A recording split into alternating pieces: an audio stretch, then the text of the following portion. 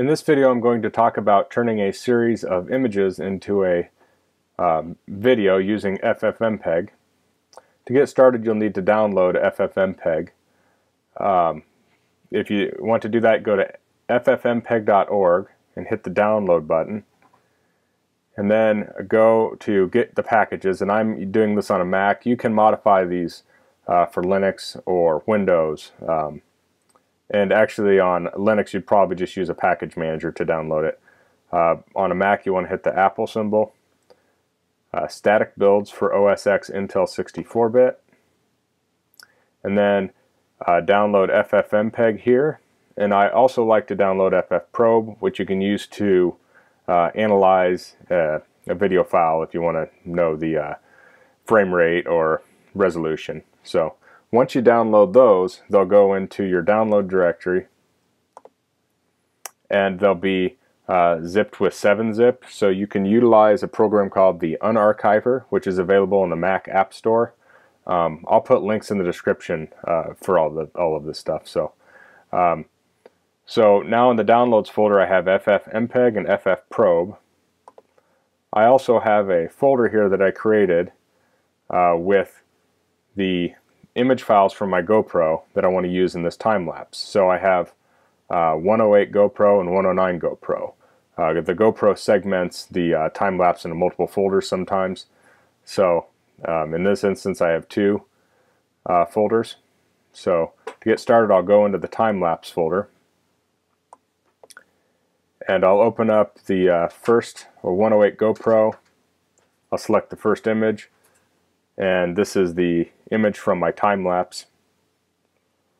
Um, you can press your arrow keys and go down. If you have any images towards the front of your time lapse or the end, you can delete them now. You could select a series of images.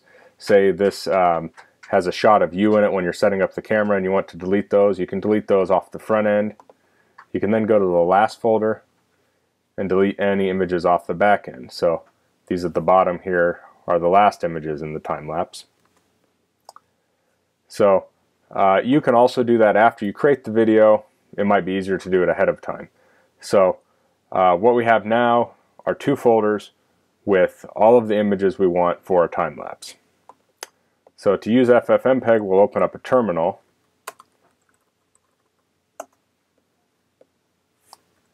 And I'll increase the size of this to make it a little easier to read. Okay and we'll move into the time-lapse directory. So I'll type cd for change directory space tilde forward slash downloads forward slash time-lapse.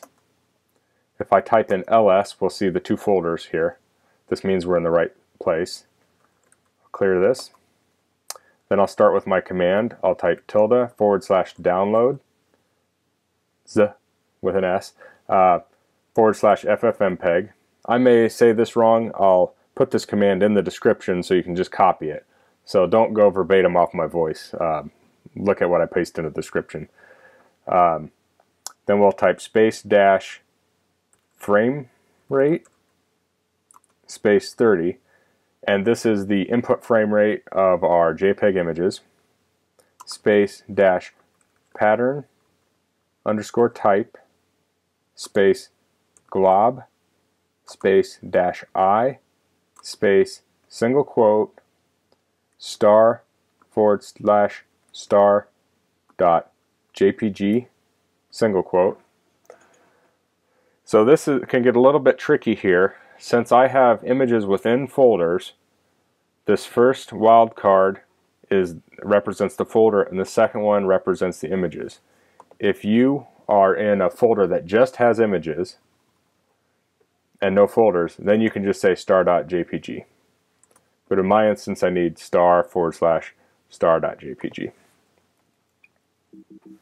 Okay, space dash vf space crop equals in underscore w colon in underscore w times 9 divided by 16,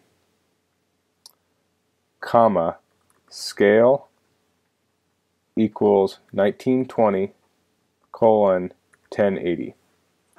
So what we're doing here is we're, we're saying crop this to the input width and then this little formula here turns this into a 16 by 9 aspect ratio video. Uh, right now the images off the GoPro are 4 by 3 aspect ratio. This crops it to 16 by 9. So this means it's taking off the top and the bottom. You can also add other parameters at the end of this using say colon 0 colon 20 and this is an offset value. So this is uh, 0 pixels in the x-axis 20 pixels in the y-axis and you can change the offset and you can play around with this later that gets a little bit more advanced but I just want to point that out uh, we won't do that right now um, after we crop it to a 16 by 9 aspect ratio then we're going to scale it to 1920 by 1080 you could also change this to 720p um, you could do 4k UHD you could do other scales. You want to make sure that your uh, 16 by 9 here matches up with the aspect ratio of your scale here, or it might look funny. So uh, next we go space dash C colon V, and this is our um, video codec. We're saying libv, no, libx uh, 264 space dash R space 30. This is our output frame rate. Space dash pix underscore FMT space YUV 420P. This is our uh, color space, space out.mp4. And that's our name, is out.mp4. We'll hit enter, and then this will take a little while here, and it will create the video for us.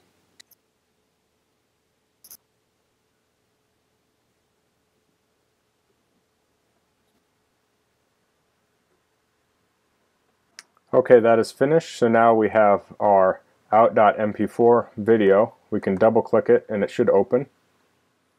And we can play it. This is a very boring time lapse, by the way. I didn't have time to go out and get a uh, a neat scene. I'll uh, scroll through this quickly. You can see there's a little bit of ice melting and the clouds are moving.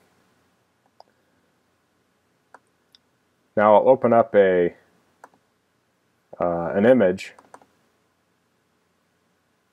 from this and this is a, a single frame from our time lapse.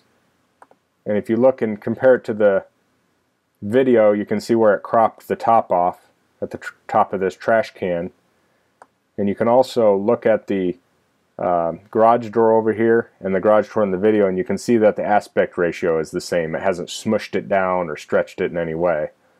Um, you can use those offset values I talked about briefly if you wanted to show more of the top or more of the bottom. You could uh, move the image up and down um, as you crop it. But this is the basics, and you could also change the frame rate and things like that. So, well, if you have any questions about this, please leave them in the comments. And if you're an expert on FFmpeg and you have advice, you can leave that in the comments too. That's always uh, welcome. If you like this video, please click like. And if you haven't already, please subscribe to my channel. And also, I'll leave a lot of uh, different notes in the description, so uh, be sure to check there um, also before you ask any questions. So, thanks for watching. Bye.